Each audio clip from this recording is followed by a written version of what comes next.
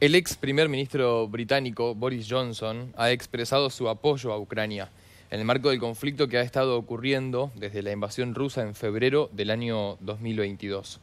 En el mil un día de la guerra, Johnson ha reiterado la importancia de mantener el apoyo internacional a Ucrania, destacando la valentía del pueblo ucraniano y la necesidad de seguir proporcionando asistencia militar y humanitaria.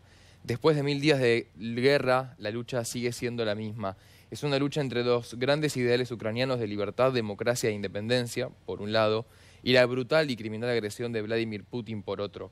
Estoy orgulloso de llevar esta camiseta diseñada por Kiev. Gloria a Ucrania, afirmó en la red social X.